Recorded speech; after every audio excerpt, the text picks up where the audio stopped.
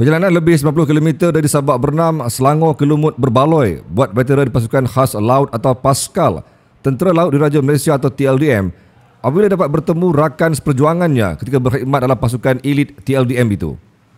Pertemuan penuh emosi itu berlaku ketika mesyuarat agung tahunan keempat Persatuan Veteran Paskal TLDM yang dirasmikan Ahli Dewan Undangan Negeri atau Adun Pangkor, Datuk Seri Dr. Zamri Abdul Kadir di Lumut semalam.